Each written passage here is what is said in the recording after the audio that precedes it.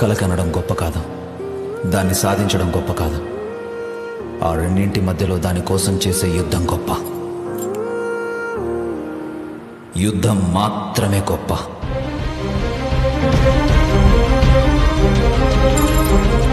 నేను గెలుపు నొప్పుకోను. ఓటమిని లెక్క చేయను.